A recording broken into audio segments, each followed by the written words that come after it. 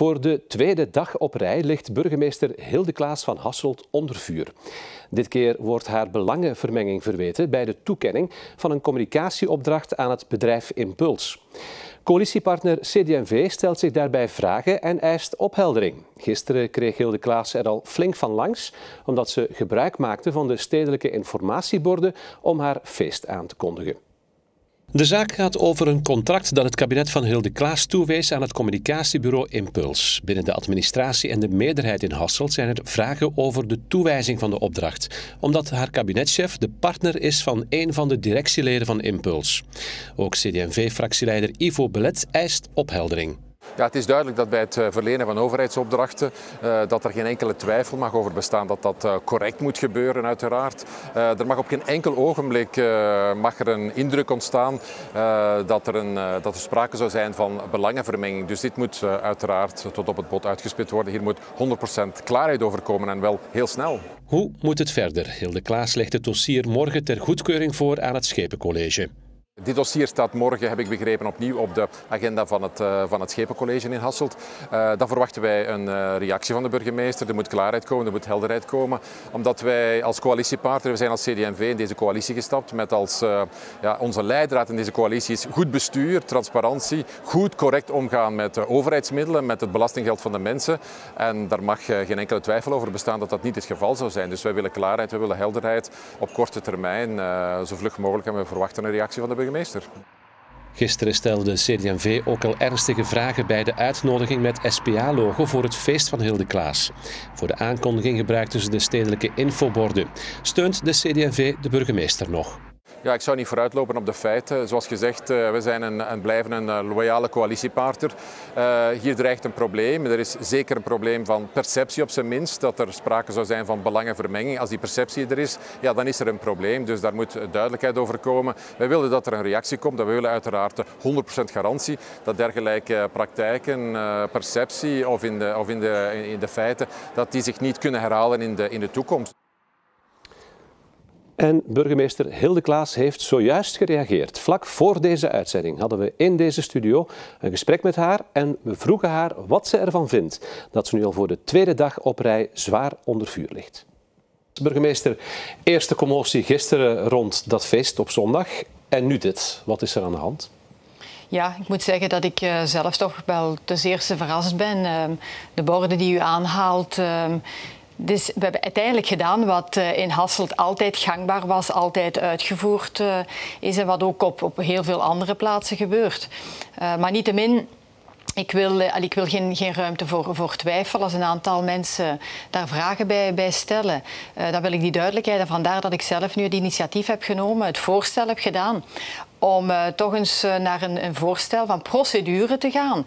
Om duidelijk te maken, uh, die borden in Hasselt langs de Grote Ring, waarvoor kunnen die in aanmerking komen? Welke is de procedure? welke zijn de voorwaarden? en welke partijen moeten daarin betrokken worden? Ja, je hebt in elk geval niks te verbergen, zegt u. Hè?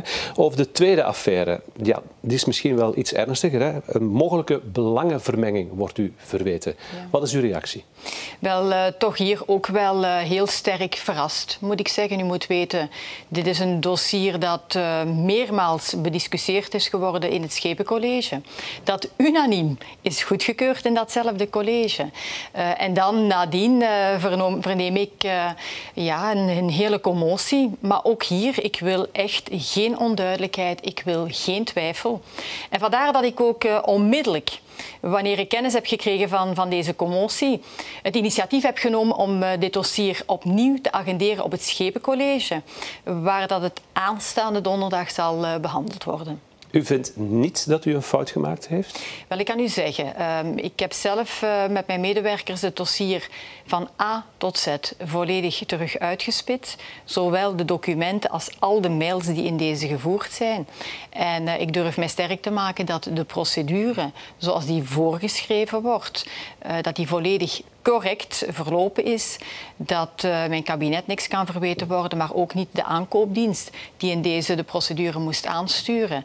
Ook daar uh, heeft men uh, volledig correct gehandeld. Maar nog eens, ik wil dat dit duidelijk is voor iedereen. En vandaar dat ik er zelf op sta om dat opnieuw in ieder detail op het Schepencollege te brengen, toe te lichten en opnieuw een bevestiging van die beslissing te vragen. Ja, want er zijn vragen binnen de administratie, ook binnen de meerderheid bij de CD&V, maar het gaat verder dan dat, hè? Ja, ik uh, stel samen met u vast dat uh, verschillende dagen nu al dat uh, toch wel rechtstreeks op, op mijn persoon geschoten wordt. Ehm, ik, ehm, ja, ik heb er eigenlijk geen ander woord voor. Dat is een beschadigingspolitiek. Uh, zo bijvoorbeeld uh, lees ik vandaag in het Belang van Limburg dat Rob Beenders, uh, toch wel SPA parlementair, voorzitter van SPA Hasselt, ehm, dat die eh, uithaalt en bedenkingen heeft. Je moet weten, dat is een man die ik bijna dagelijks zie, hoor, vergader, naar aanleiding van dit voorval. Ehm, ja, heeft hij in mijn ogen geen opmerkingen. Vind dat vind dat raar. En idem dito eigenlijk uh, schepen Valerie Delrey, ook uh, eh, SPA. Ook van haar hoor ik uh, dat er een misnoegdheid zou zijn. En ik kan u echt niet verhelen dat dat raakt mij heel erg als persoon. Dat is een zware uithaal. U noemt hier twee mensen die, waar u al jaren mee samenwerkt. Ik werk met hun, samen en wie mij kent, die weet dat ik iemand ben voor, voor het debat face-to-face. -face. Ik zal altijd iedereen uitnodigen om hun argumenten, hun visie op tafel te gooien.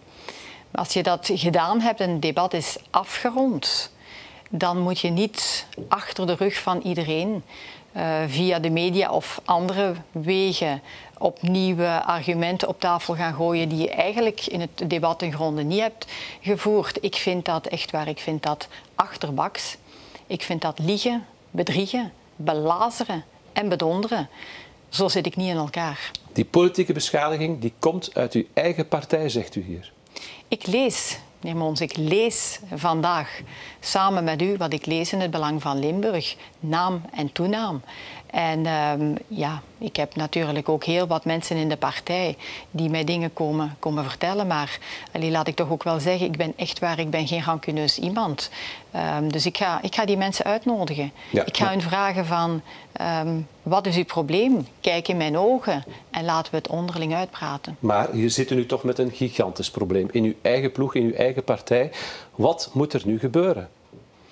Wel, allee, de toekomst zal dat uitwijzen, maar ik ga in ieder geval het initiatief gaan, gaan nemen. Uh, ik heb dat al gedaan trouwens. Uh, ik heb mijn fractieleider gevraagd om vanavond de SPA-mandatarissen samen te brengen. Ik wil uh, omtrent de aangehaalde dossiers van A tot Z de toelichting geven.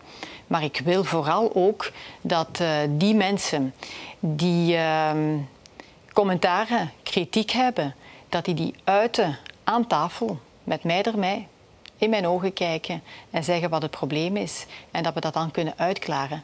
Want nog eens, wij doen aan politiek voor een algemeen belang. Wij doen dat voor Hasselt en we doen dat voor de inwoners van Hasselt.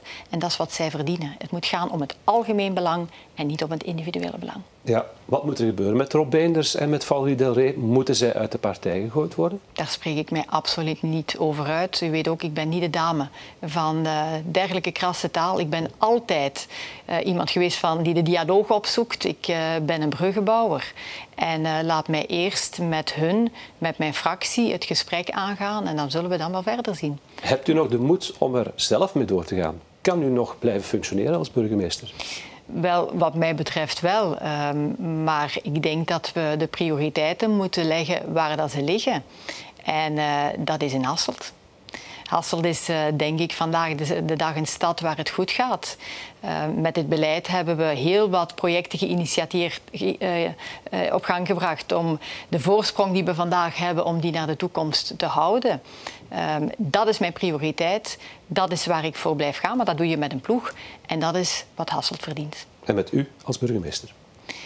Ik uh, heb u in het begin van uw vraag heel duidelijk gezegd, wat mij betreft, uh, denk ik absoluut dat ik kan aanblijven. Dank u wel. Alsjeblieft.